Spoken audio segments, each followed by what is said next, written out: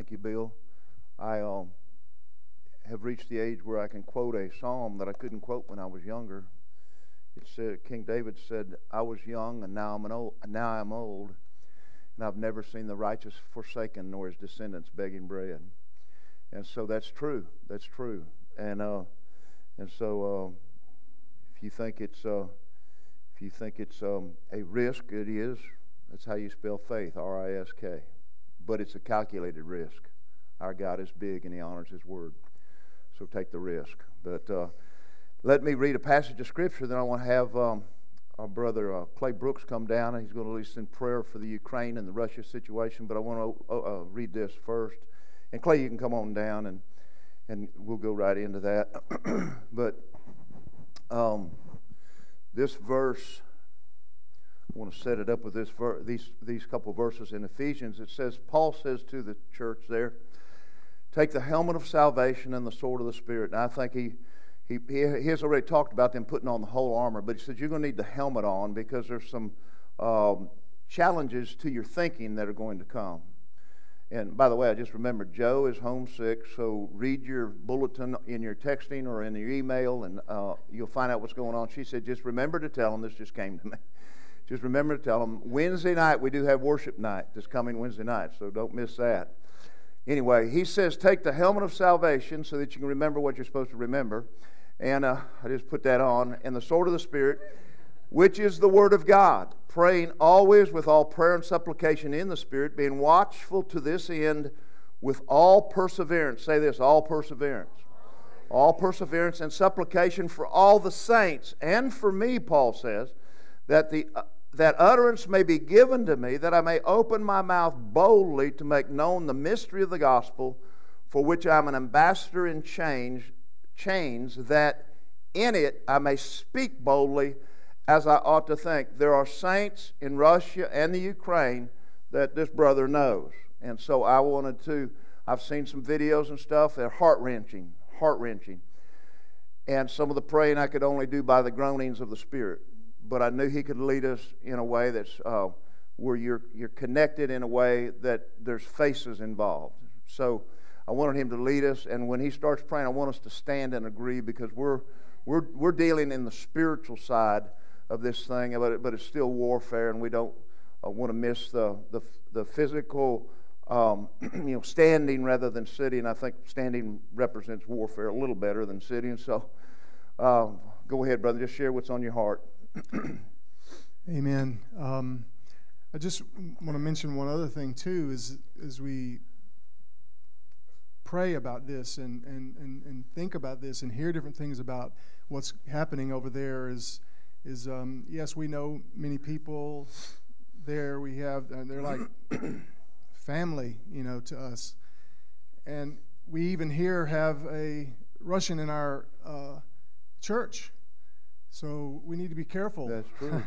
what we say and how yeah. because there there's not just one bad person in this. Let me tell you, there's history that you don't know about that uh, and and here just this verse I read today amos chapter 5 therefore at such a time the prudent person keeps silent for it is an evil time and there are times that we need to watch what we say and we need to just pray and we thank god we can pray in the spirit and, and, yeah, and have things accomplished that that only god and only the spirit of god can pray through us so, um, God, yes, we know Lord. He hates war. Yeah. And and all of this could have been avoided. So, Lord, we, we come together, Lord, in the mighty name of Jesus, the Prince of Peace. And Lord, you have called us to be peacemakers, Lord. And we thank you, Father, that you have called us to pray. And you said for us to pray for all who are in authority, Lord because our prayers can make a difference. So, Father, we pray, Lord God, Father, that you would move in this situation in Russia and in Ukraine and in all of Europe, and, and it's affecting and influencing all of this world, Father. Lord, and we pray you would bring a quick end, Lord, to the conflict in Jesus' name. Father, and that you would open eyes to see all that needs to be seen, Father, in what has been going on and what has happened, Lord, in this situation. And Father, we pray for your people, Lord. We pray your protection over, Lord, your people, Father, all over that area, Lord God. Lord, your the children, the mothers, the families, the husbands, the brothers, the sisters, all that are involved, all the people that, that are grieving over what has happened in this, Lord God. And we, we ask you, Lord God, to, to move quickly, Father, in Jesus' name. Lord, and, and we thank you, God, for Romans 8:28, Lord, that you can take what the enemy has meant for evil, Lord, in a situation, Father, and you can turn it all around, Lord, and, and, and bring something good from what evil has happened and what the enemy has done, Lord. And we pray for that, Lord God. And we, we thank you, Lord, Lord, for your love and your great mercy and your power. And even though, Lord, you said, Lord, that in these, these, these days, Father, that there would be wars, there would be rumors of wars and kingdoms coming against kingdom. You told us to, to not be afraid. So, Father, I, I, I pray, Father, Lord, your peace over your people, Lord. And we speak peace over Europe, speak peace into Ukraine, Father. And Lord, that your will would be done, Lord, in the name of Jesus, and not the will of the enemy. In Jesus' name, Father. Amen. Clay. We can lay that up there if you want. Well, praise God. I know that uh, in times of peace, it's easier to preserve life. In times of war, it's easier for the devil to come and steal, kill, and destroy. So uh, we want peace and we want uh, the will of God to be manifest in that region, that area. And uh, we want um, our God is so big that He can Romans eight twenty eight it. He can make a, good things come out of it, and uh, there be something that advances the kingdom come out of it. So, excuse me. This is a good time though, for me to talk about this, and what I want to talk about this morning is perser- persevering in prayer. There are um, times that we pray for things and the answers are swift. Thank you, Jesus. And there's times we pray for things for a long period of time and the answers seem to linger on about their being fulfilled. And then there's times we're praying for things and the serious prayer needs accumulate on top of the ones you're already praying for. We're in a time like that. We're in times where uh, Dan and I are on a national prayer call uh, five days a week. Uh, we're, we have a prayer meeting up here on Tuesday mornings. We're on another national prayer call on Tuesday nights. So that's um, seven. And then I was asked the other day about doing one on Saturday night. I said, look, that's I'm already doing seven uh, that, that, are scheduled. I, we can pray uh, spontaneously, but I don't want to put another one on my schedule yet. But um, anyway, the, the, the opportunities to pray abound, and the, the things that we need to cover in prayer abound. Paul said, praying always with all prayer and supplication, and he said, be watchful with all perseverance. And so, what I realized is that sometimes persevering in prayer is very difficult because you get drained, you get down, you get your um, hope deferred file gets thicker than your desire fulfilled file. You know, uh, Proverbs 13 12, hope deferred makes the heart sick, but desire fulfilled is the tree of life. And I'm looking at my hope, hope deferred file, keeps getting stuff put in it. You know, we prayed about this, nothing happened. We prayed about this, it got worse. We prayed about this, and uh, no answer. We prayed about this. Oh, here's an answer. Hallelujah. I got one in the desire fulfilled. But, but this file over here is getting hard to carry. And per- persevering in prayer then requires something more than just willpower. Something more than just, I'm just going to do this because it's the right thing to do, and then the answer is going to be right there. Well, we, we are promised and prophesied that we will experience an Amos 9.13 season where those things um, where there'll be a supernatural reciprocity where when you pray, the answer is already on the way. Some things happen that way, and, and I, I trust that we're going to walk into uh, a, a, a, time like that, but I don't. Uh, but I believe we'll walk into it by being faithful in times like these. He that's faithful with a little will be faithful with much. Oh, you took care of uh, this much uh, dinar and um, the, this many talents and this much finance. Um, make him ruler of 10 cities. I mean, it just went from you're faithful with this, you're ruling 10 cities. And so there's a time where you step into something that's way beyond what we, um, what we thought was um, going to be the outcome. So I'm believing for that. But in the meantime, Paul makes it clear that we are supposed to persevere in prayer. Now, let me just say this that uh, in the scriptures, persevering has a little bit of a different connotation than enduring. Endurance, uh, usually the Greek word used uh, that's translated endurance, um, often it has to do with dealing with people. Sometimes it's translated um, long suffering, sometimes it's translated patience. And then also the word that's used for perseverance is also translated endurance. But generally the pattern is that when you're enduring, you're dealing with, it's, it's like, in my mind, I see Rocky Balboa. Everybody's seen the Rocky 1 through 5, okay? Rocky's enduring. He's getting hit, boom, hit, boom, hit, boom, hits the floor, gets up. He won't stay down. He's enduring the uh, onslaught of a specific adversary.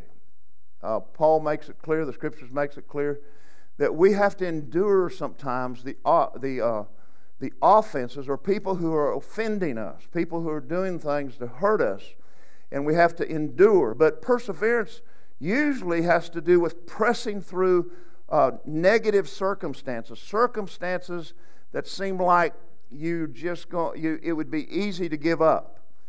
The, um, the road starts going uphill at a greater angle? Are you going to persevere in the race or are you going to step to the side? we had a, when I was in high school, uh, our attitude toward long distance running wasn't what it is today. It was punishment for those who made the coach mad. And I had this mouth for some reason, and um, that would say what I thought was funny things. He didn't think it was so funny. And so he uh, would punish me by putting me in the long distance runs, which at that time was a mile and two mile.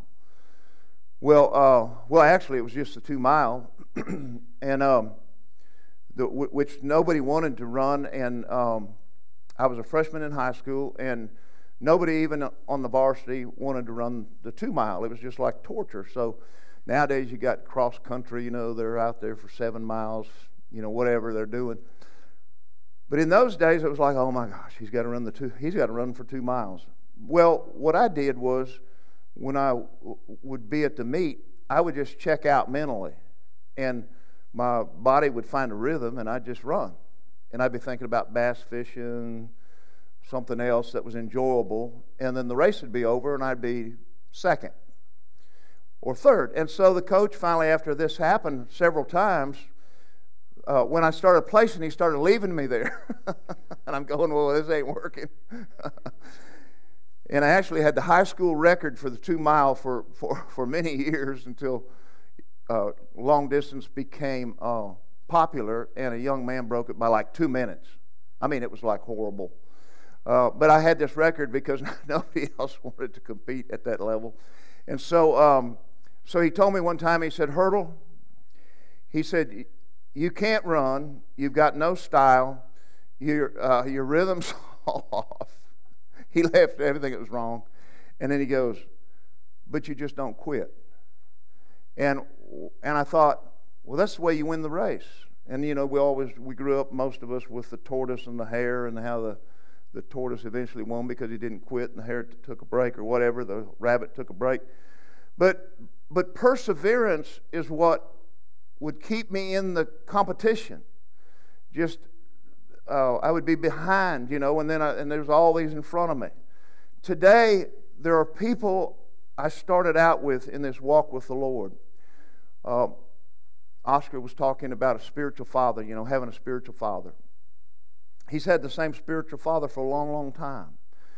And that's a real blessing. That means that whoever his spiritual father is, they stayed in the race so that he had one.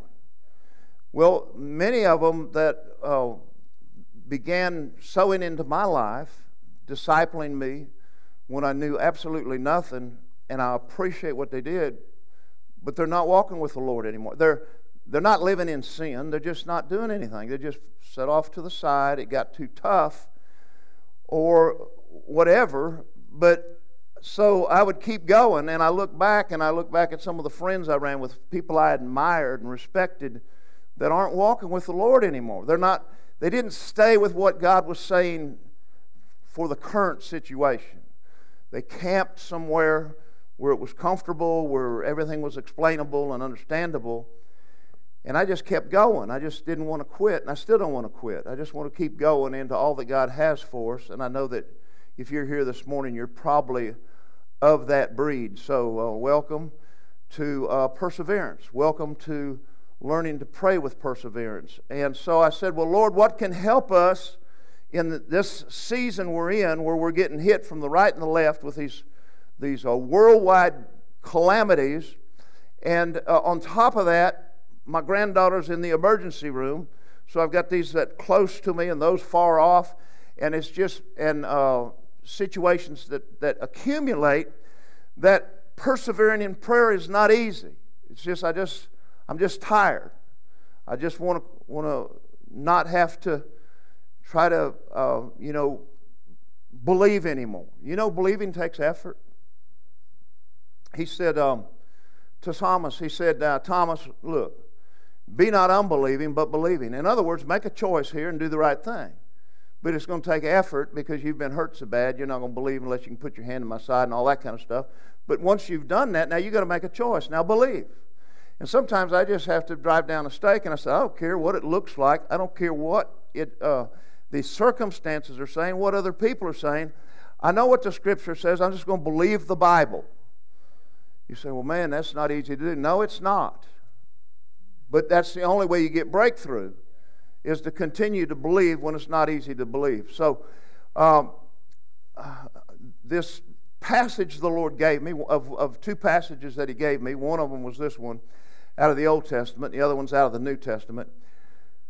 But he highlighted this to me and he said, You're going to need this to persevere in prayer. And so it's a familiar one. It's Zechariah 4, verses 6 through 6 and 7. And he said, um, So he, he's referring to an angel that was speaking to um, Zechariah, answered and said to me, This is the word of the Lord to Zerubbabel. Now he's talking to the prophet. The angel's telling Zechariah what the Lord said for Zerubbabel. Seemed like it'd be easier just the Lord just to talk to him himself. But that's why we've got to hear the Lord no matter what channel he uses. So this is the word of the Lord to Zerubbabel. Not by might nor by power, but by my spirit, says the Lord of hosts. Who are you, O great mountain? Before Zerubbabel you shall become a plain, and he shall bring forth the capstone with shouts of grace, grace to it. Zerubbabel was not the prophet. Zerubbabel was not the priest. Joshua was the priest. Zechariah was the prophet in this uh, scenario. Yet uh, God spoke to the prophet to tell Zerubbabel, he was the governor. He was the one who was uh, uh, governing that whole situation to bring about the restoration and the building of the temple. And um, I think in recent years, I don't think I know, the ecclesia or the remnant of the ecclesia, the ecclesia is the word church is translated from 75 times in the New Testament. But ecclesia describes a governing council. Jesus chose that word on purpose. But an ecclesia has arisen in the church like I've never seen before in the last couple of years, who have embraced their role to govern.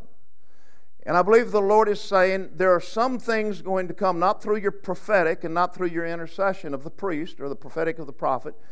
They're going to come through by those two um, uh, ministering also and giving support, but there's going to be a rising up in my church, in my ecclesia, of those who begin to govern.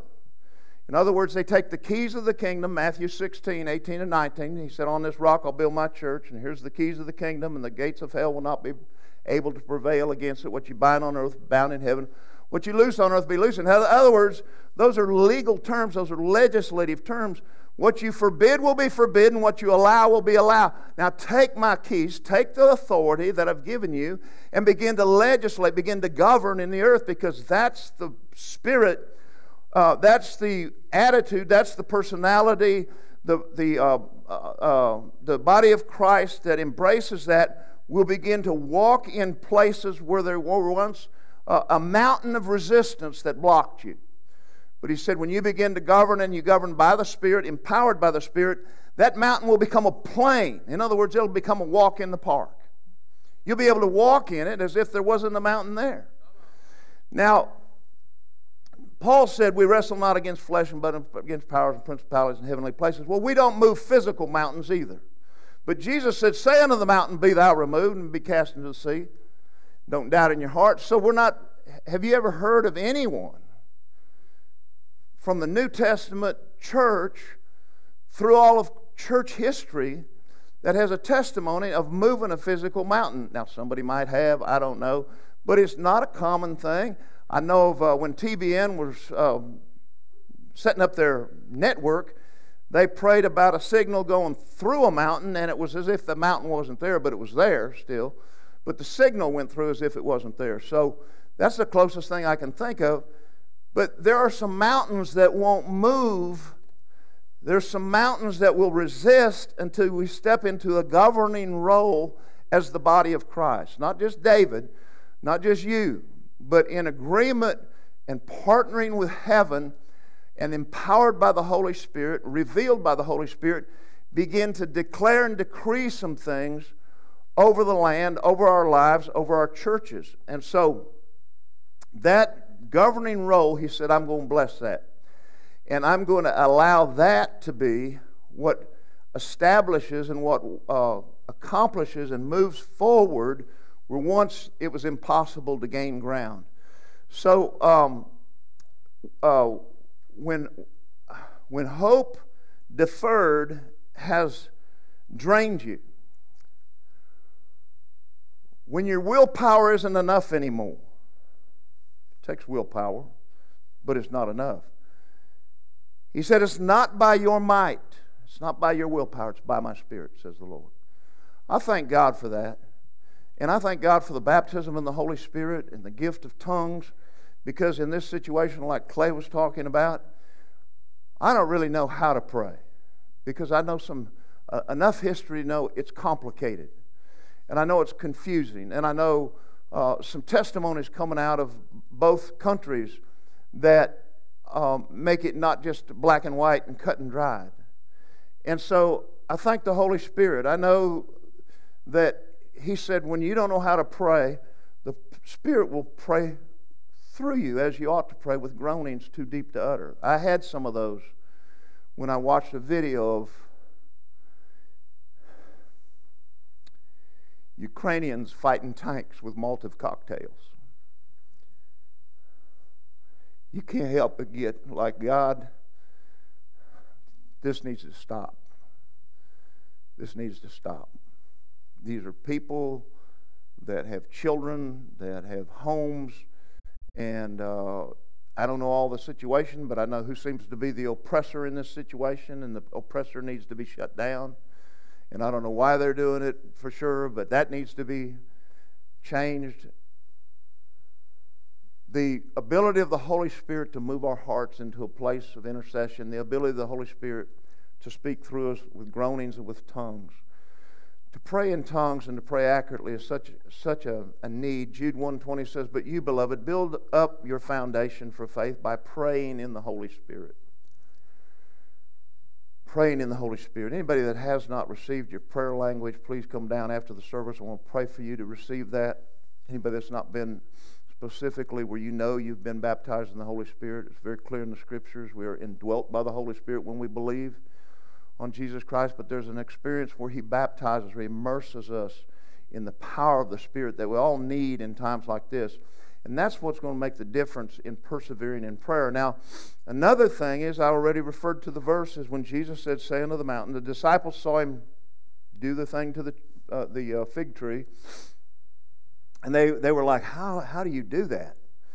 How do you have that kind of power where you can cause a fig tree to dry up in one day? And Jesus said to them, uh, the, uh, in Mark 11, verse 22 through 24, Jesus answered and said to them, Have faith in God, for assuredly I say to you, whoever says to this mountain, Be removed and cast into the sea, and does not doubt in his heart, but believes that those things he says will be done, he will have whatever he says. Therefore I say to you, now this is what he's talking about prayer. Whatever things you ask when you pray, believing that you receive them, you will have them. So Jesus uses this is how I, this is what I believe happened. He wants his disciples to think a certain way when they begin to pray. And he uses this visual that's so extreme. He didn't say when you pray for your grandma and her sacroiliac is healed, whatever that is. I know grandma probably has one. I don't know about anybody else. When you pray for the headache and it goes away, when you pray and uh, whatever, he didn't use something that was minor. He said, when you say, when you govern, when you say, not pray, but when you say to the mountain, be thou removed. And all of a sudden, the disciples have in their vi- in a visual of, of prayer having the power to move a mountain. And now they're, they're, they're going to, when they, when they pray, they're going to think about, they're going to have a mindset when they step into the place of prayer. He wanted them to have a mindset of stepping on a D9 bulldozer. Can you put that picture up, Ginger, of that bulldozer? This is a D9 armored bulldozer. This is what Israel uses. Uh, they've used it in wartime. They've used it to keep the um, Israeli-Palestinian uh, conflict uh, under control. It's very it's a, called a controversial machine because of what it's been used for, but it's armored, and that blade on the front, if it don't get it, the rippers on the back does, do get it. And when when I, I can see Jesus saying, when we pray, we need to see our prayers being as if we step onto that thing. And we're not stepping onto a bicycle to find a path around the mountain. We're stepping onto something that can push, eventually, push a way through the mountain or push the mountain out of the way or push down the mountain. And so when you pray, your prayers, he says, are so powerful. Say to the mountain and it'll happen, it'll move. And I'm going, okay, God, how can I get a visual? Well, I'm a, I'm a mechanically minded person, and I can see this in my mind. And so I said, okay, we're going to deal with this thing with the Russia and the Ukraine, and I got to persevere with it. This thing perseveres. It got a low gear, and you just put it in low. This is, this is really a kingdom machine that I'm talking about. You put it in low, and it's moving so slow sometimes it doesn't seem like it's moving. But you look back two hours later and it's gone a mile. And it's inexorable is a good word for it. It's inexorable. It just keeps going. Just keeps going. You say, well, you need to get a different machine. That bulldozer's not working. It's not even moving. No, it's moving. There's nothing stopping it. There's nothing holding it back. There's nothing can change its course because it's set to move that mountain. And when you pray, to, pers- to persevere in prayer, you've got to see that you didn't just climb on a bicycle, you climbed on a bulldozer. You climbed on something that can move a mountain. And when you crank up, you're not cranking up a, a Volkswagen Beetle, you're cranking up a bulldozer the power to move the mountains. You persevere because you have the power of the Spirit that you've said, Holy Spirit, you've got to help me now. I can't do this on my own. And you persevere because your mindset is right. Your mindset is that I'm dealing with something very powerful. I'm, I'm, I'm moving out of a bulldozer mentality, a bulldozer mindset. And so things begin to shake when this thing starts moving. And Isaiah 64 1 said, Oh, that you would rend the heavens, Lord, that you would come down, that the mountains might shake at your presence. You start, you start this thing up, and it starts moving. And the Lord begins to say, It's not moved yet, but you see those pebbles rolling down the side? You see that boulder, boulder getting looser? You see that tree leaning over? Because this thing eventually, persistent, persevering prayer of the saints is going to move that mountain.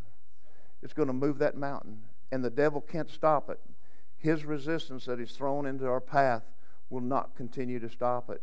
For this purpose the Son of Man was made manifest, that he might destroy the works of the devil. Yes, he came to save us. Yes, he came to call the little flock to himself. But he's also looking and scanning for the works of the devil because you know what he's going to do? He's going to throw it in gear. And he's going to go after the works of the devil. He's going to destroy.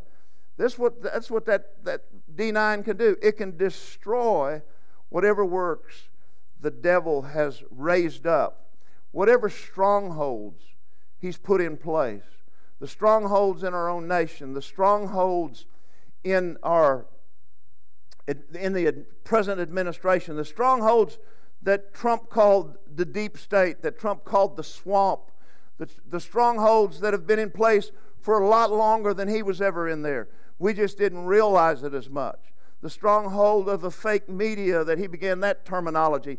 Thank God he stirred up enough stuff and came in like a wrecking ball so that we began to see what reality really was and what, what we're dealing with. And we're called to deal with the spiritual side of it. The D9 actually means, the D actually stands for dual. That dual traction is going to go places where uh, single traction can't go. I thought of the nine for us is the gifts of the Spirit and the fruit of the Spirit. It's both together. You can't, you can't just be all excited about the gifts and let the fruit of the Spirit languish in your life. When you minister out of the fruit, when you minister the gifts out of the fruit, that's bringing the dual nine into place.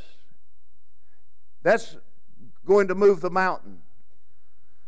Let me just read these to refresh our memory, but the manifestation of the Spirit is given to each one for the profit of all. For the one is given the word of wisdom through the Spirit, to the other, the word of knowledge through the same Spirit, to another, faith by the same Spirit, to the other, gifts of healings by the same Spirit, to another, the working of miracles, to another, prophecy, to another, discerning of spirits, to another, different kinds of tongues, and to another, interpretation of tongues. Now, I know from experience there are even more than these. Bill Johnson's grandmother, when she got baptized in the Holy Spirit, wrote in perfect Chinese. That's not listed here. She didn't know how to write in Chinese. But when the missionary came, he said, This is perf- perfectly legible. So there's other th- ways the Holy Spirit manifests, but he lists nine for our sake. And then the fruit of the Spirit is love, joy, peace, long suffering, kindness, goodness, faithfulness, gentleness, self control. Against such there is no law.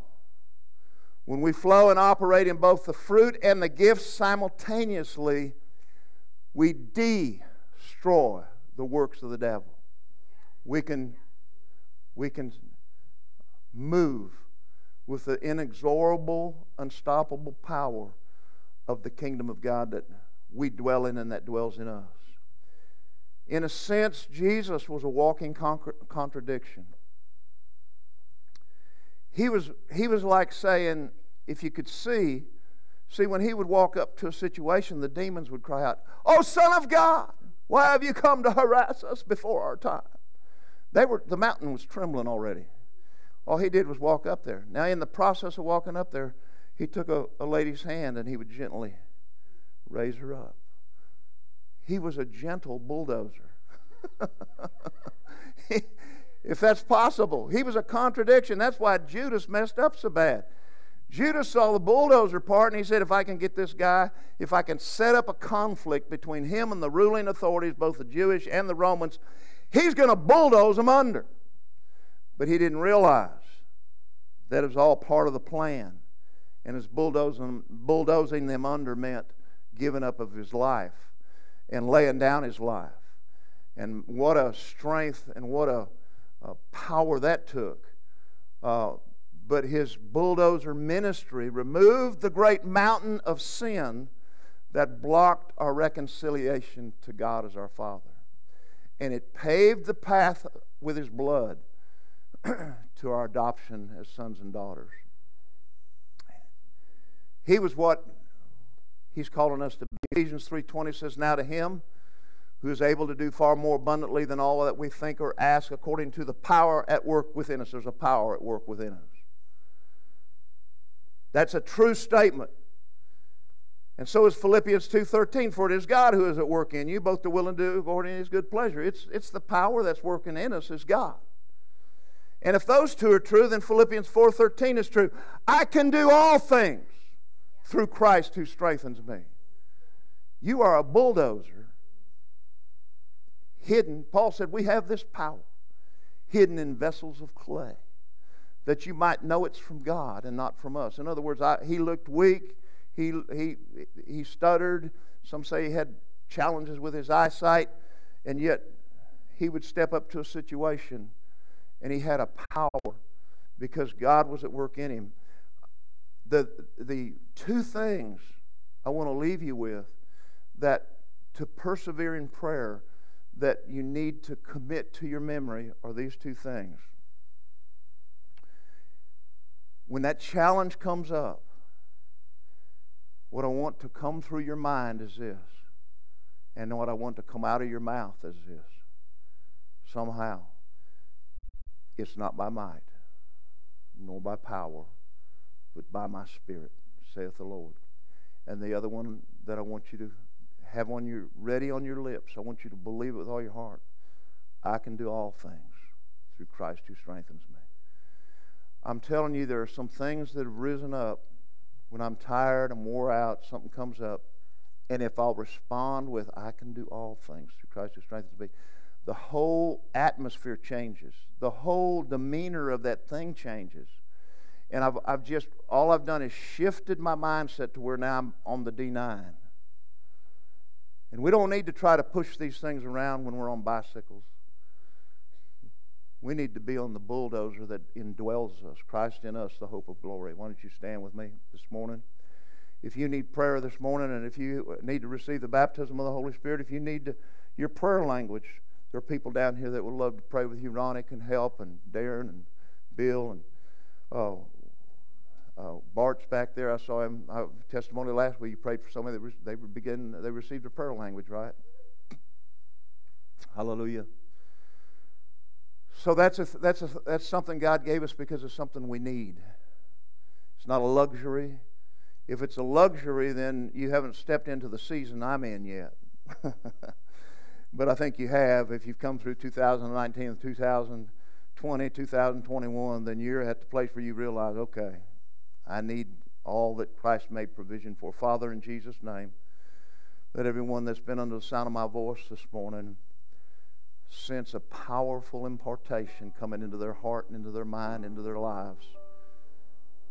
That they're going to begin to think like they're stepping onto a D9 bulldozer when they pray, when they speak, when they declare.